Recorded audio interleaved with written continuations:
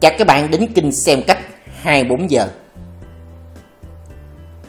Thương hiệu Fando ra mắt cái mẫu bên đập bình dầu liền đẹp không chỗ chơi.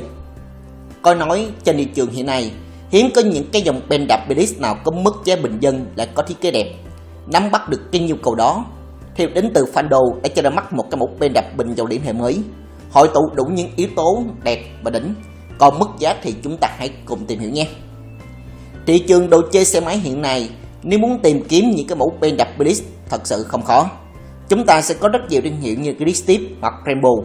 Tuy nhiên những cái hiệu này lộ cao cấp nhất cũng hơn là 30 triệu, rẻ nhất cũng trên là 10 triệu đồng. Rất khó để anh em chơi xe bình dân có thể dễ dàng tiếp cận.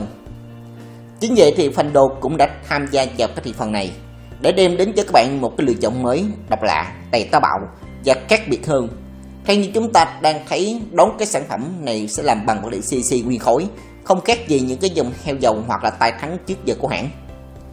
Cái điều nói lên cái sự tinh tế của dòng sản phẩm này chính là những cái đường nét CC được cắt vô cùng là khéo léo.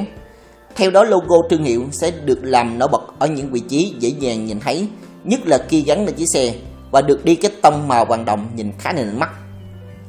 Một vài chi tiết được đánh cái vân sọc cực kỳ là đẹp đây cũng chính là những cái điểm là riêng biệt của dòng sản phẩm này.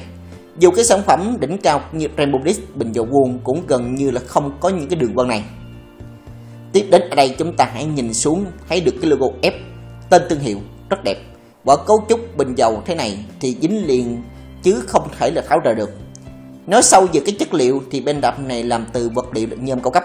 Nó được gia công cơ khí rất là chính xác với công nghệ CNC 3D siêu đẹp Superlight Khác với những cái thương hiệu khác thì chị hiện nay thì vị trí cố định cái bên đạp vào chiếc xe được làm theo dạng là mắt châu tạo ra cái sự linh động khi bắt lên rất nhiều cái dòng chân khác nhau của mỗi hãng xe. Thiết kế cái phần chân trên dưới, dùng cái thế bắt bên đập có thể tăng chỉnh cái phát dài ngắn tùy thích. Cấu tạo này có thêm là mẫu bên dầu trước, đó của Fando. Ngay cái vị trí bình dầu còn được trang bị thêm cái mắt thanh nhớt để kiểm tra tình trạng dầu thắng ở bên trong bình. Còn vị trí mà mình đánh dấu cái gam màu vàng ở trên đây chính là những cái đường bắt cái dây dầu ra cái phần kẹp phanh. Cái sản phẩm này có cái mã là FLC90 và được phân phối với hai màu đen và bạc. Hiện nay nhãn sức chỉ mới công bố mức giá bán phân phối thị trường Việt Nam là khoảng 5 triệu 800 000 đồng.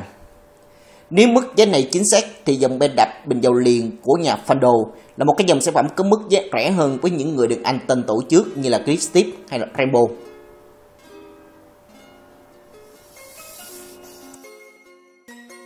Exeter 100 đầu kiển đơn giản nhưng đầy tinh tế.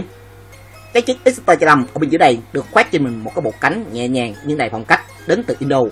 Theo đó, một số món đồ chơi giá trị làm cho nó trở nên cứng cáp hơn. Cái Exeter 100 một dòng xe còn tại nghệ sức dâm hà, bóc chén nhỏ gọn, đậm chất hồng cùng với phân khúc 100cc mạnh mẽ, đem lại khả năng ấn tượng sâu sắc cho cộng đồng chơi xe đến từ xứ Việt. Theo bao năm tháng thì lọt bản độ dần dần được đời, nhẹ nhàng, đêm hữu theo những phong cách khác nhau từ mỗi người. Và cái chiếc Exeter Charam độ kiểm ở dưới đây, một dẫn chứng cụ thể. Quét cho mình một bộ cánh đen được lãm, mang phong cách Indo đầy cứng cáp. Phần yên được gọt lại có cạnh tạo ra sự êm ái. Chàng chân mỏng manh nhưng đầy cứng cáp, với combo mầm, đĩa dây yes heo dầu KTM hai biết xứng, cùng với dầu Morin. Cánh trái nhẹ nhàng hơn, với ốc vòng lửa tì, cần số 2 chiều cho việc sang số trở nên thoải mái hơn bộ nhông sẽ đĩa DAD vàng ánh phai tàn theo năm tháng. Ống xả nguyên thủy trở nên thẩm mỹ hơn, Oppo Spark Nano, heo của Rainbow hai biết xứng quay ngược đầy ấn tượng, có sự hỗ trợ của phát nhôm CC.